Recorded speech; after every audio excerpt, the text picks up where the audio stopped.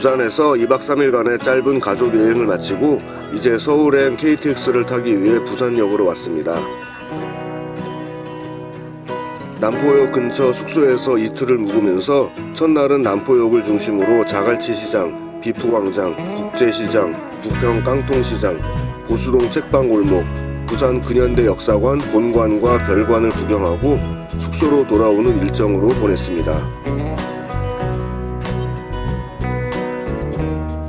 둘째 날은 오전에 살짝 늦잠을 자고 남포역 근처 스타벅스에서 브런치 후에 용두산 공원을 구경했고 버스를 타고 태종대로 가서 태종대 전망대까지 다녀왔습니다. 셋째 날은 남포역에서 지하철을 타고 서면역으로 가서 서면 젊음의 거리, 놀이마루, 전포 카페 거리에 다녀왔습니다. 다시 지하철을 타고 해운대역으로 가서 해운대 해수욕장을 구경하고 해운대 전통시장에서 회를 먹는 것으로 여행 일정을 마무리했습니다. 계획을 했지만 다녀오지 못한 곳도 있고 계획에는 없었지만 지나가다가 들린 곳도 있었습니다. 계획대로 딱딱 들어맞는 여행도 유익하지만 간혹 계획에 없는 곳으로 발걸음을 옮기는 것도 흥미롭습니다. 이렇게 부산에서의 여행 일정을 회고하며 이제 부산역 실내로 들어와서 돌아다니면서 구경을 하고 있습니다.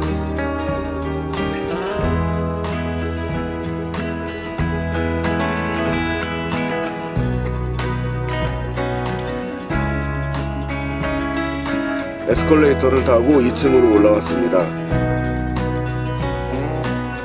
2층에도 여러 식당과 카페가 영업 중이었습니다. 2층에서 내려다본 부산역 풍경입니다. 다음번 여행에는 어디로 갈까 생각하며 부산역 내부를 둘러봅니다.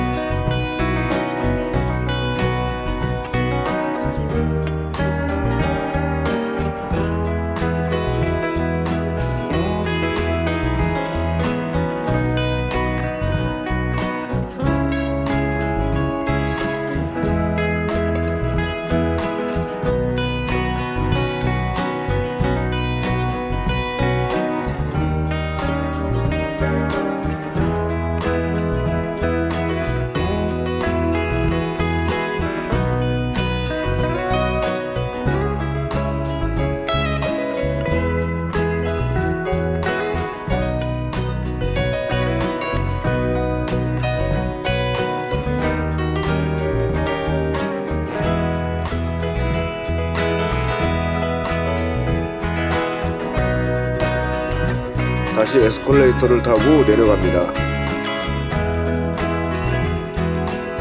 저녁 8시가 넘은 시간에 KTX를 타고 서울로 향하려고 합니다.